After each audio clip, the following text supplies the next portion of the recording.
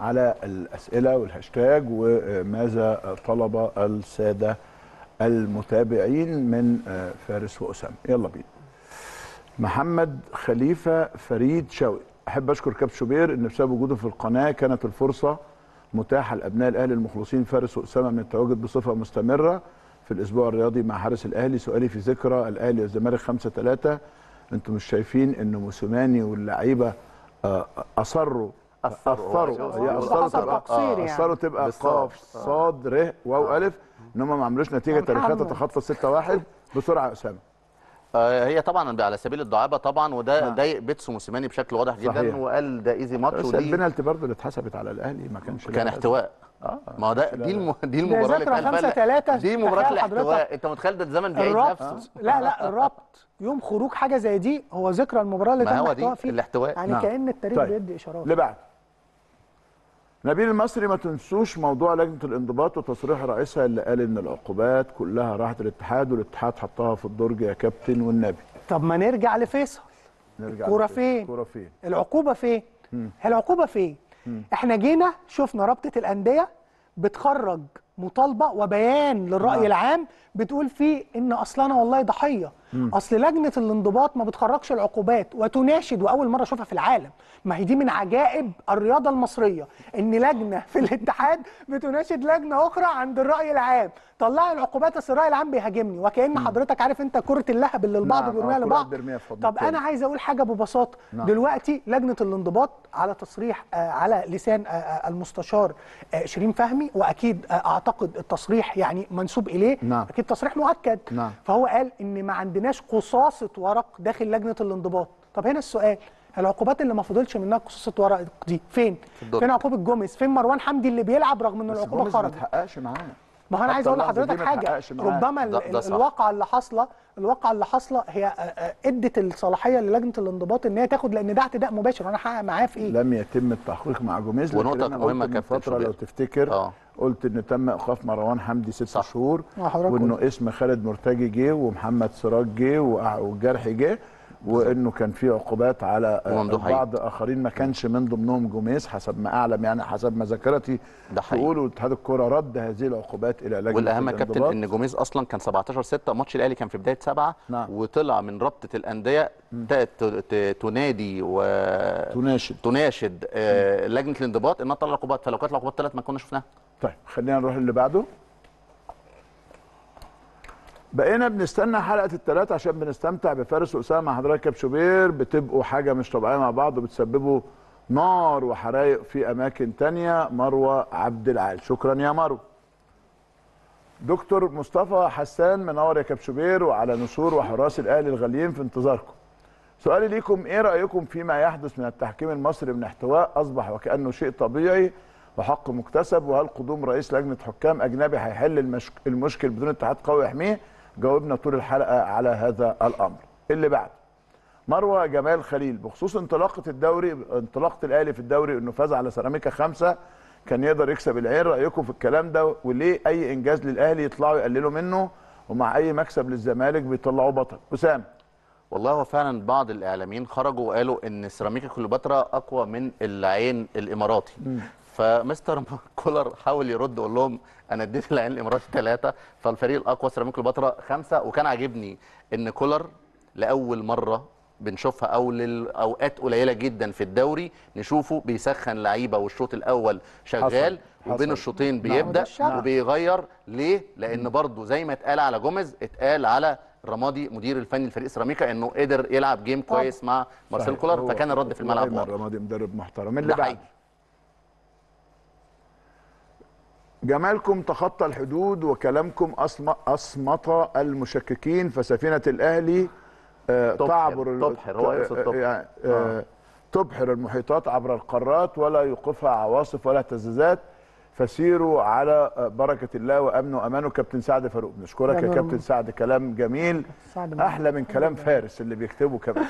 إيه رأيكم في تصريحات عصام عبد الفتاح ويا ريت الرد؟ ده أبو سيف. أعتقد إنه ردينا. آه، آه، ردنا بما يكفي يعني. اللي بعده. السلام عليكم وتحياتي لفارس وأسامة. لو حضرتك تشوف كمية تعليقات من أصحابنا هنا في السعودية عن الأهلي وجمهوره تحس بالفخر إنك أهلاوي. والحمد لله على نعمة الأهلي. مصطفى حفني. حد عايز يعلق؟ الحمد لله. إحنا الحمد لله. طبعاً، طبعاً. اللي بعد. صابر مختار مساء الخير كابتن مصر. تحياتي لنجوم الأهلي فارس آه، أسامة اللي أنا شايفهم امتداد العمالقة عادل القيعي وإبراهيم المنيسي. أحلى تحية لكل اهلاويه سؤالي هو ليه ما فيش عدالة وحرية في لجنة العقوبات؟ وليه ظلم الفرق على حساب الفرق الأخرى؟ اديني حقي سواء ليا أو عليا أو عليا وبس خلاص.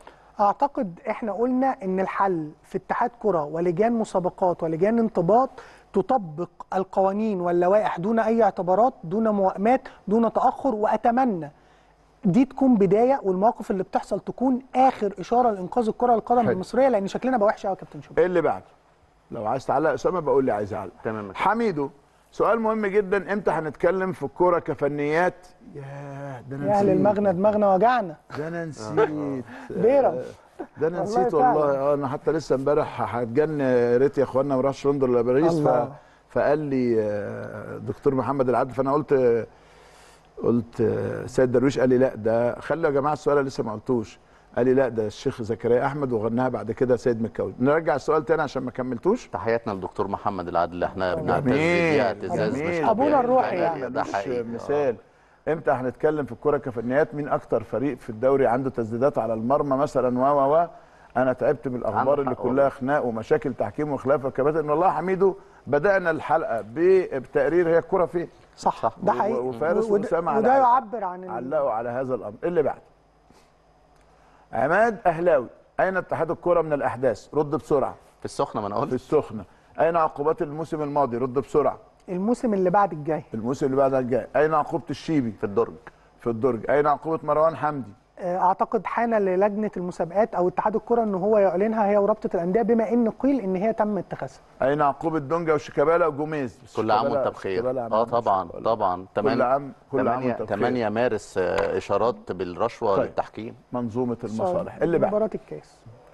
أحمد أمين عمار يا ريت أنتوا بتتكلموا على التحكيم بلغوا الحكام إن في حاجة اسمها ضمير مهني عشان أنا حاسس إن ضميرهم في أجازة وفكروهم إن في أسرهم بيتفرجوا وأبنائهم ما ينفعش يظهروا كده أنا مش مع ده يا كابتن إحنا آه. طول الوقت بنتكلم في مستوى حكم نعم. ما نقدرش نروح لضمير حكم أو نوايا حكم أو يعني أمور شخصية متعلقة بالحكم نعم. إلا إذا ثبت ذلك لكن أنا عايز أقول رسالة فعلا للحكم اتفضل مستواك السلبي ومستواك السيء والتصريحات التي تصدر والتسريبات التي تخرج هي اللي بتوصل إن الناس يكون عندها حق فعلا إنها تتكلم عن ضميرها. عايز أقول بس تعقيب هنا يا كابتن في كل الدراسات اللي, اللي بتقيس كفاءة أي حد في أي مهنة. نعم.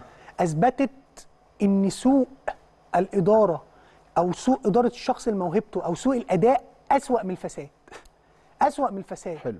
لأن حلو. نتائجه حلو. بتكون كارثية كلام- كلام وما محترم. تقدرش تقول له أنت فاسد فتستبعده هو كلام أنا كده محترم كلام محترم اللي بعد لو سمحت كابتن شوبير استضيف الفنان الكبير نبيل الحلفاوي ده اسلام حاولنا. سنين ايدي على ده إحنا كتفك كلنا يا أستاذ نبيل هو صديق عزيز إحنا بنلتقي قليل جدا بس هو أنا أصلا أنا كمان أنا عاشق نبيل الحلفاوي من كلنا زمن يعني الزمن كلنا نتفق من كده. زمن. الزمن ممثل. عبقري ممثل عبقري ممثل عبقري واللي يعرفه طبعا. على المستوى الشخصي هذا إنسان نادر الوجود في أخلاقه ده حقيقي. في سلوكياته في احترامه والله أنا لحد قريب ما كنتش أعرف إنه أهلاوي كده يعني أنا ما لا، كنت. لا، أنا سعيد بحاجة يا كابتن شوبير البعض ما آه. بيحبش يجاهر بأهلاويته في الوسط لا، لا. الفني بالشكل لا، لا. ده نعم. نتيجة التصنيفات الجماهيرية لا، هو لا. أهلاوي كما قال لا الكتاب أستاذ نبيل أنا يعني. أنا أنا كان عندي الاثنين الاهلاويه التقال قوي أو الثلاثه صلاح السعداني عليه رحمة الله. أيوه. فاروق الفيشاوي عليه رحمة الله. من التالت؟ الثالث كتير ما تاخدوش بالكم. من الثالث عزت العلايلي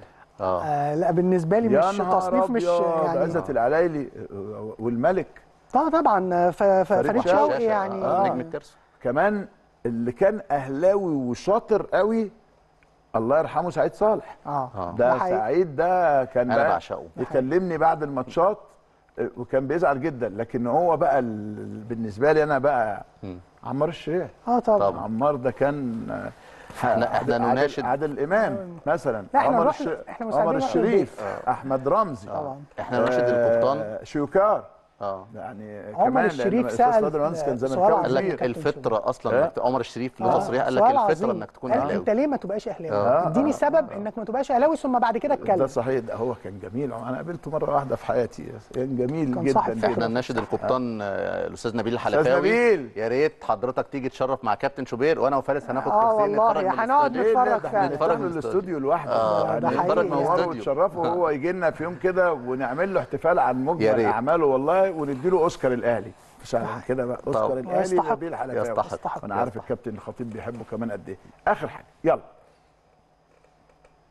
ده إيه ده ده أنا آه الله نفسي أعرف الخطيب الأدب ده الأول كان بيقول لك إيه في اللقطة بوسي، دي؟ آه عامر أو آه، عمرو ع- عامر بوسي صح؟ عامر. أو أمير أو صح كده؟ هي غالبا عامر. هي غالبا عامر، عامر. ماشي. بس كان إيه بقى يعني 3 وبعدين إيه ماشي. نفسي أعرف الخطيب الأدب والأخلاق كان بيقول لك إيه في اللقطه. دي؟ لأنك كنت بتستمع باهتمام. باهتمام آه، شديد جدا.